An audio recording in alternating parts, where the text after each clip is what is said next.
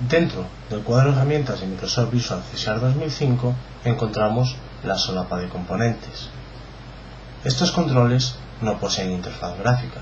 Si lo arrastramos hasta el formulario, veis cómo quedan en la parte inferior del IDE de desarrollo de Microsoft Visual C 2005. Aún así, estos controles los tenemos a nuestra disposición dentro del formulario. Por ejemplo, el control timer nos va a permitir programar una, acción a intervalos regulares establecidos por nosotros mismos.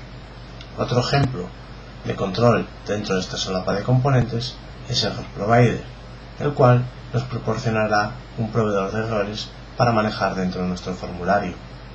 Serial Port, por ejemplo, nos permitirá representar un recurso de un puerto serie